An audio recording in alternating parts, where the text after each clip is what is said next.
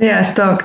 Egy óriási dolgot szeretnék megmutatni nektek. Egy éve készülünk rá, és végre a kezembe tarthatom életünk első könyvét, a rajzolós mesebirodalmat.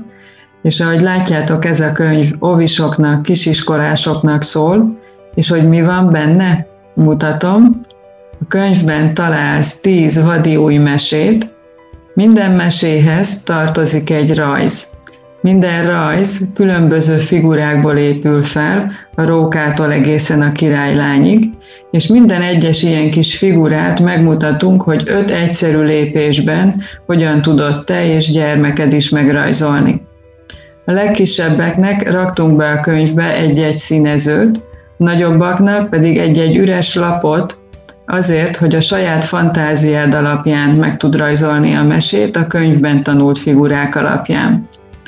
Ez a könyv a legjobb ajándék gyermekednek és unokádnak, tehát tíz mese, tíz rajz, száz figura, öt lépésben megrajzolva. Teljenek rajzolással az ünnepek és a hétköznapok. Sziasztok!